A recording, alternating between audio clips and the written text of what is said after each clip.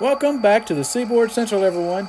Today we're going to talk about tractive effort versus horsepower. Many people often confuse horsepower and tractive effort. And in today's video, I'm going to discuss some of the differences between the two and talk about why each are important and why one may be more important to the other depending on the circumstances. So what is tractive effort? Well, the definition is the pull developed by a locomotive. The maximum tractive effort value is directly proportional to the weight on the drivers and the adhesion. And the definition of horsepower is any combination of pull and speed that equals 550 pounds of feet per second. Example would be pulling a force of one pound for 550 feet and accomplishing that in one second. And another thing we must consider when talking about tractive effort and horsepower is adhesion. The adhesion factor is the ratio of the adhesion to the weight of a locomotive. A good ballpark figure for steel wheels on steel rails is around 30%, although most older units only produce about 25% of adhesion. A typical GP40-2 can weigh anywhere between 250 to 280,000 pounds and has an adhesion factor between 25 to 30%. So if a GP40-2 weighs 260,000 pounds and has an adhesion factor of 30%, that means it will take 78,000 pounds of force to slide the wheels. So in other words, a GP40-2 with its brake set will actually start sliding down grade if more than 78,000 pounds of force is pulling against the coupler.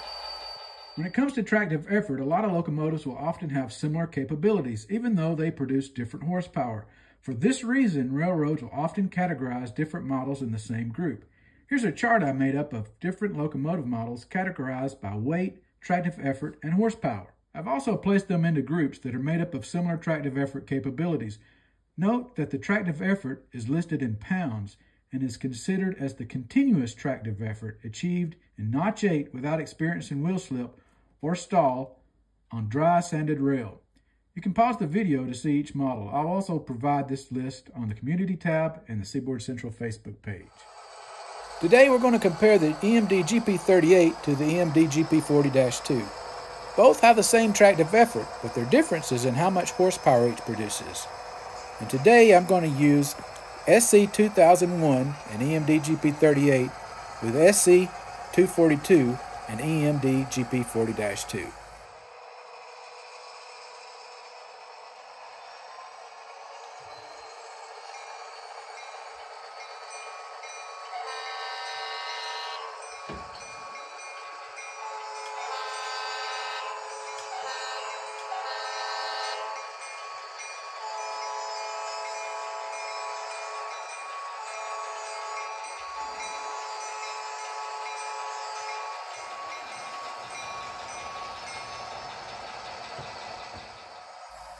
The EMD GP38 has a non-turbocharged 16-cylinder 645 cubic foot engine that produces 2,000 horsepower.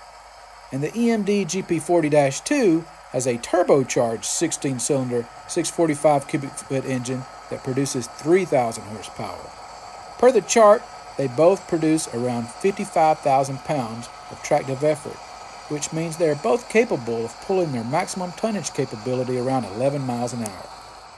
So why would a railroad want to buy a GP40-2 that would use more fuel and require more maintenance costs for having a turbocharger than the GP38-2, which would be cheaper to operate?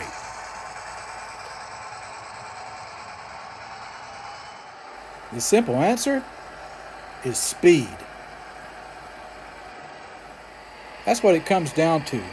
Horsepower equals speed. So in this comparison, both locomotives are capable of pulling their trains up the grade. But the difference is the GP40-2 with a higher horsepower is capable of achieving a higher speed when it comes to any type of grades on the line. For this reason, you will often see railroads assigning their low to medium horsepower units to the yard and switcher duties, while assigning the higher horsepower units to the main line, where speed is more of a factor.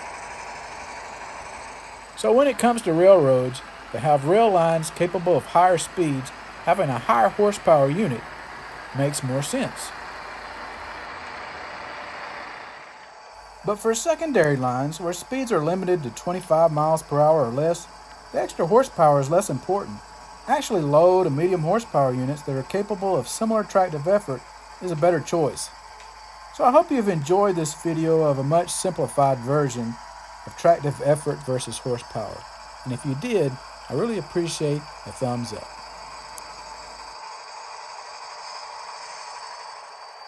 So until next time, I'm Tim Garland. Thanks for watching the Seaboard Central, and happy model railroading, everyone!